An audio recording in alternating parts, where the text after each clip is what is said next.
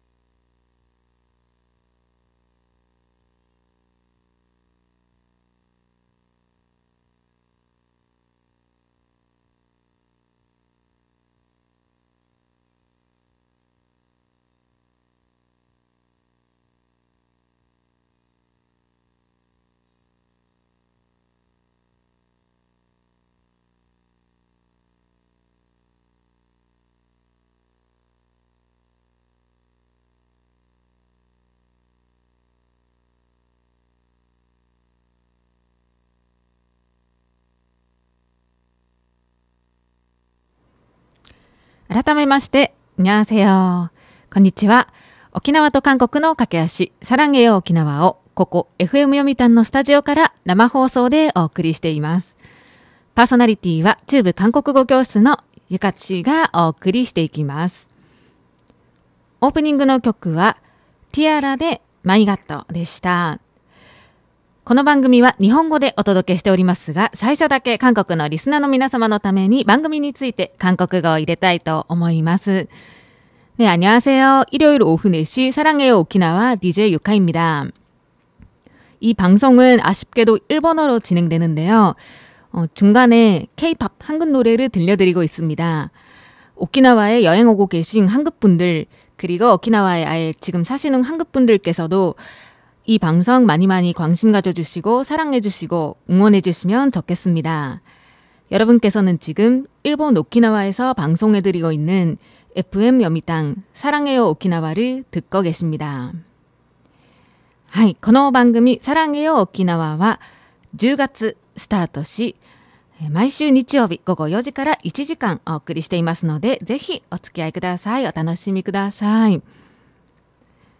皆様どんな一週間を過ごされましたでしょうか？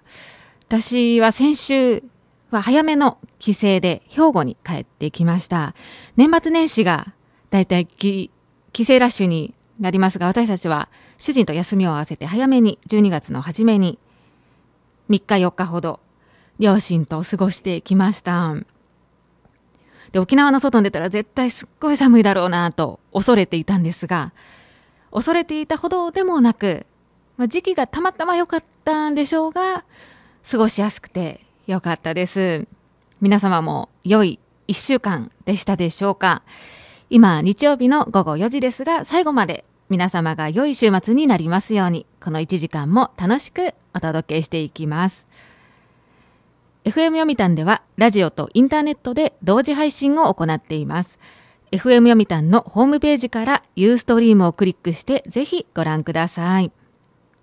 そしてこの番組では韓国をテーマに皆様からのメッセージをお待ちしております。韓国や韓国語について気になること、聞きたいこと、韓国の思い出や韓国人とのエピソード、それから韓流ドラマのおすすめ、K-POP のおすすめなども募集しています。メールアドレスは fm fm786 アットマーク fm 読みたん .co.jp メールアドレス fm786 アットマーク fm 読みたん .co.jp ファックスナンバーは098-958-7861 958-7861件名にはサランゲヨ沖縄と入れてくださいね。中部韓国語教室のホームページからもラジオサランゲヨ沖縄をクリックしてもメッセージ送っていただけます。たくさんのメッセージをお待ちしております。ではここでこの番組サランゲヨ沖縄について簡単にご紹介いたします。サランゲヨ沖縄は沖縄と韓国の架け橋というサブタイトルがついてますが、日韓両国の平和と発展もそうですし、グローバル国際社会の平和と発展を願いながら、沖縄の方に韓国や韓国人をより理解してもらえるような内容だったり、また旅行中の韓国の方や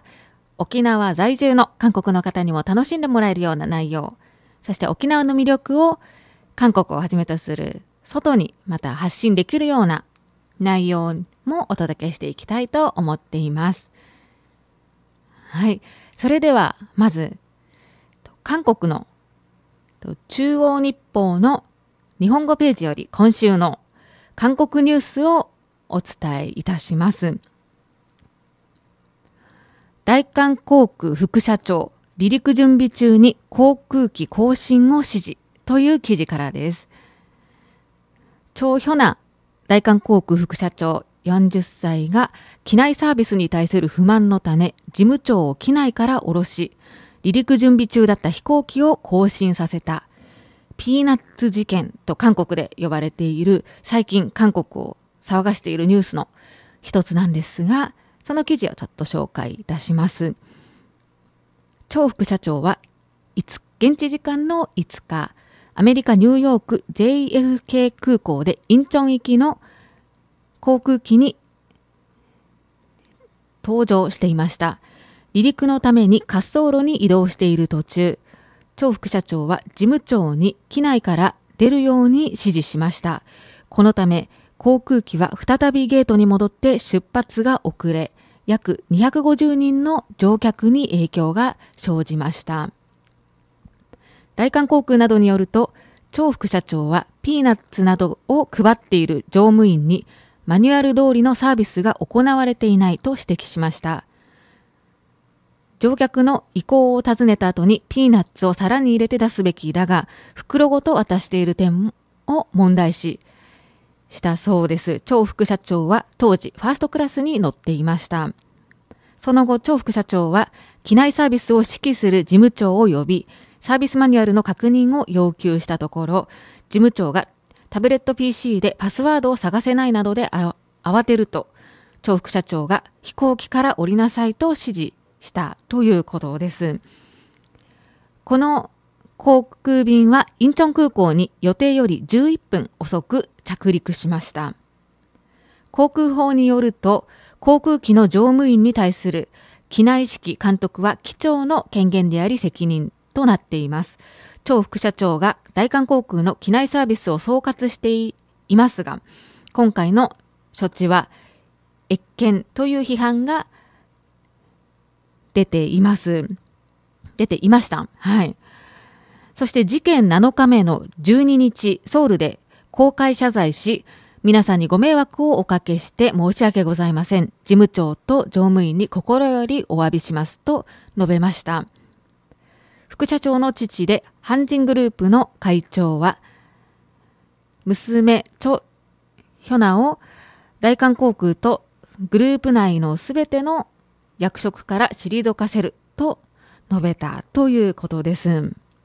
はい。これが韓国でちょっと話題になっていたニュースでした。それではここで一曲お届けします。ガールズデーのタナンボンマン。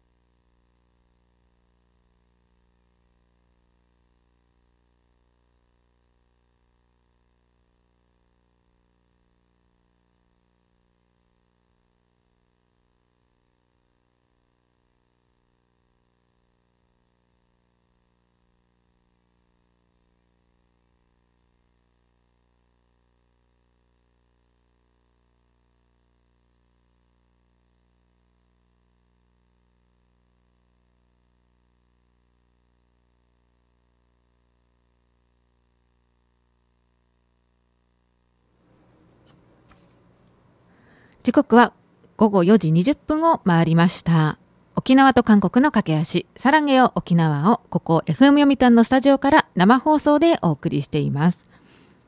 お送りした曲は、ガールズデイのタナンボンマン、超新星のヌガモレドでした。次は韓国の芸能ニュースから少女時代初の東京ドームコンサートが大盛況というニュースが芸能ニュースのトップに来ていたのでご紹介します。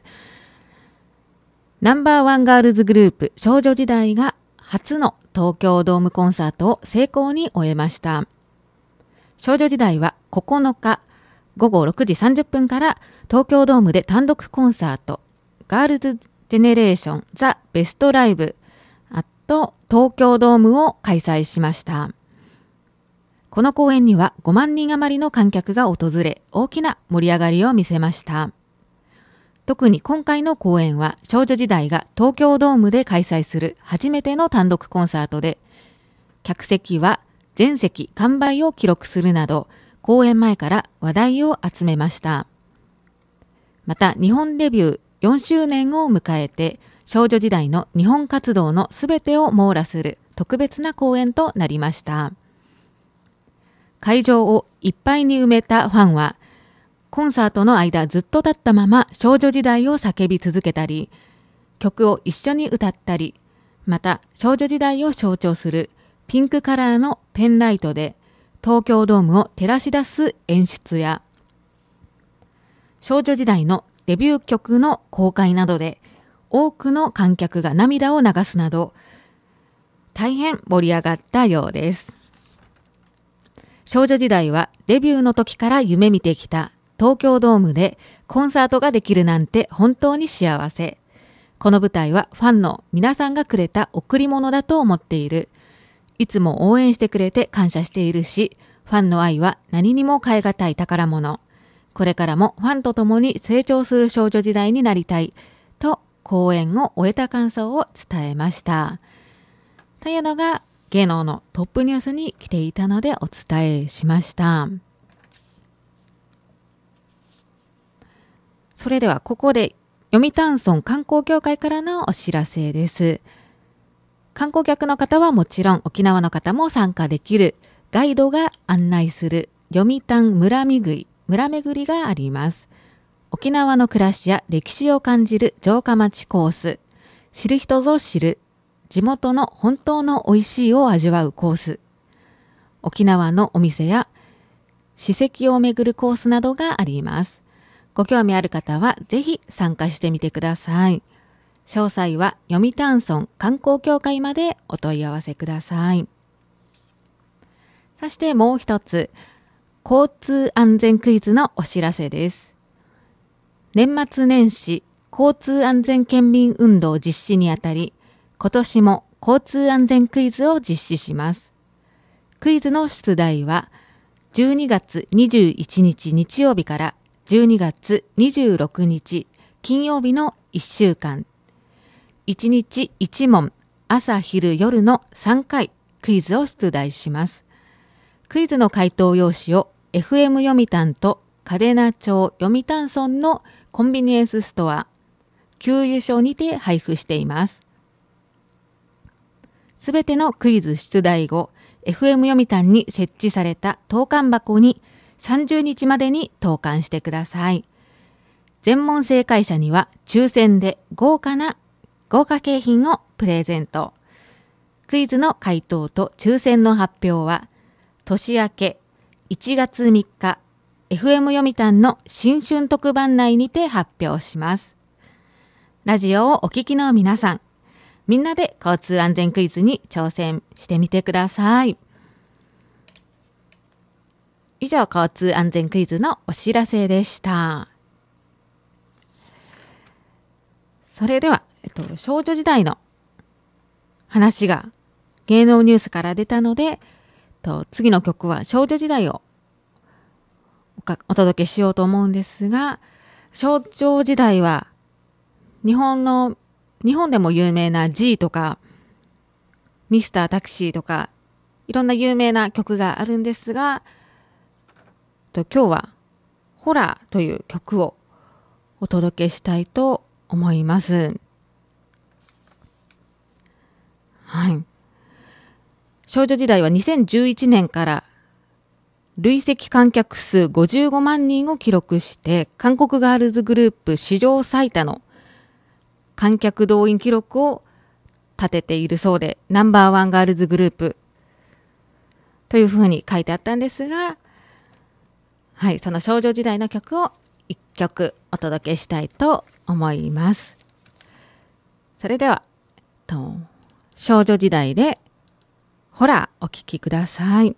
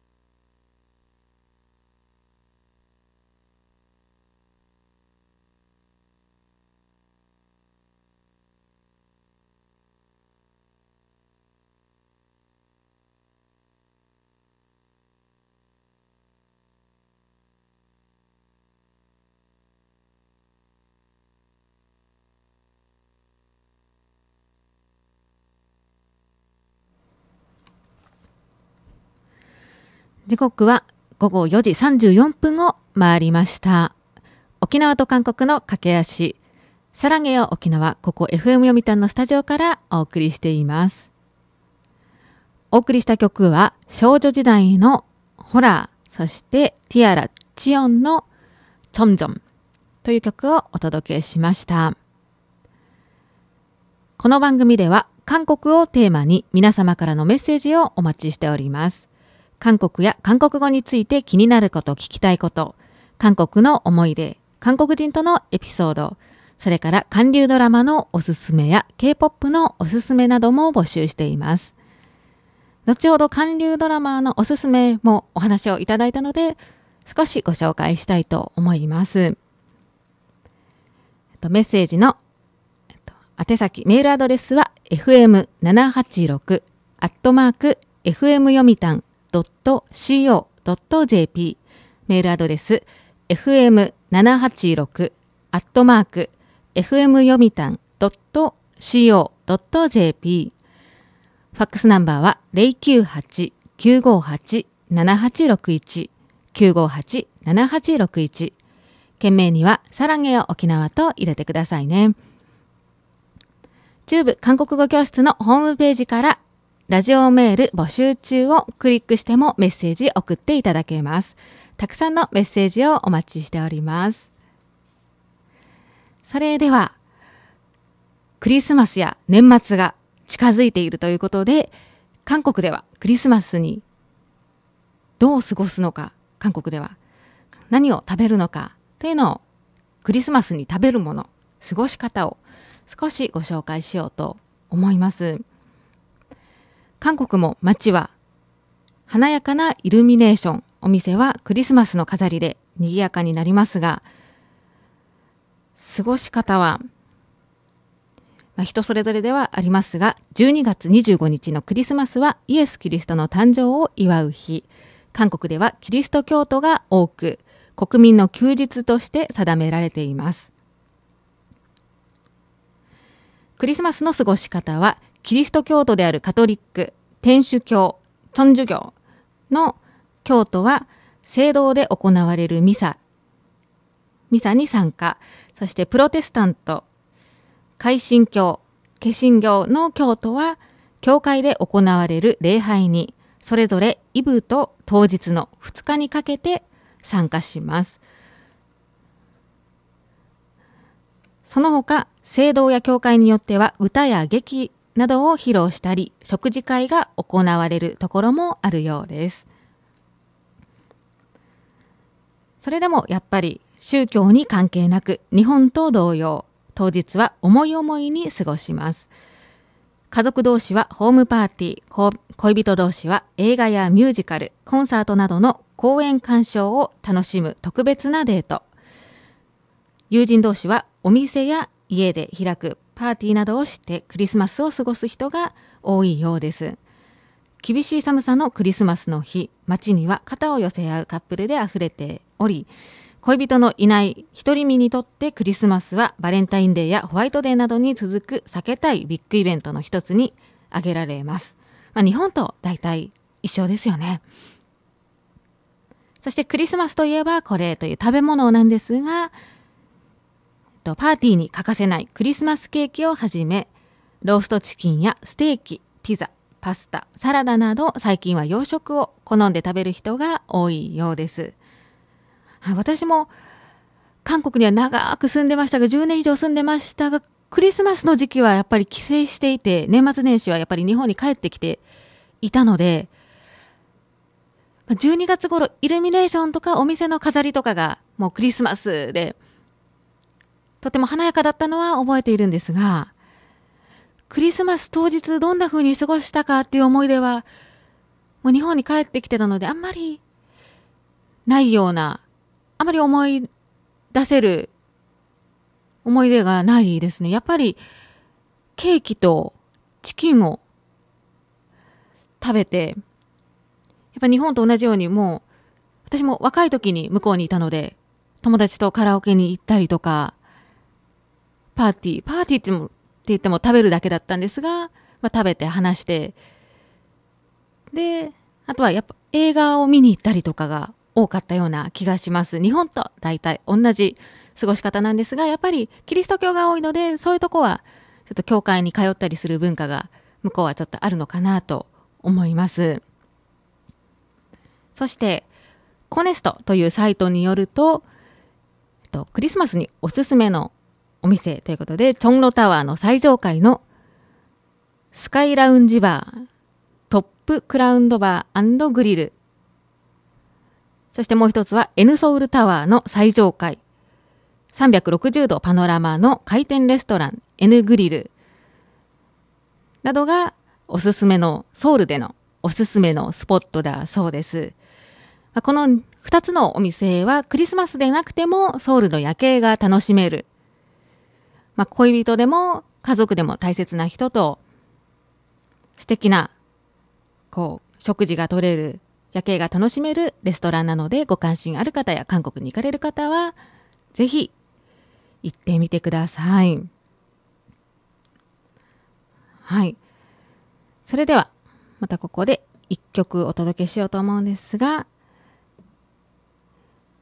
とゆすんちゃんで Tomorrow という曲をお届けします。